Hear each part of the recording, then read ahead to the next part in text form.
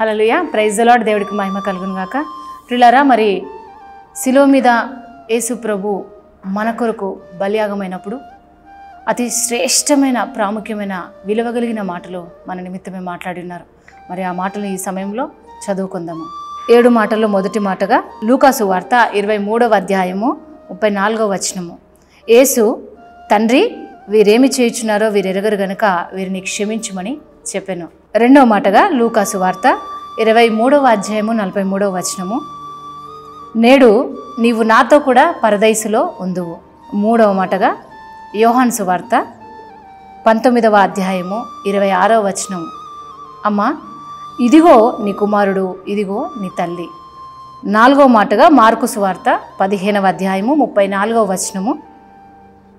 నా దేవా నా దేవా నన్ను ఎందుకు చెయ్యి విడిచితివి? ఐదవ మాటగా యోహాన్ సువార్త పంతొమ్మిదవ అధ్యాయము ఇరవై ఎనిమిదవ వచనము. నేను దప్పిగొనుచున్నాను. ఆరవ మాటగా యోహాన్ సువార్త పంతొమ్మిదవ అధ్యాయము ముప్పైవ వచనము సమాప్తమైనది. ఏడవ మాటగా లూకాసు వార్త ఇరవై మూడవ అధ్యాయము నలభై ఆరవ వచనము. తండ్రి నీ చేతికి నా ఆత్మను అప్పగించుకొంచున్నాను ప్రైజులాడ్ దేవుడికి మహిమ కలుగునుగాక.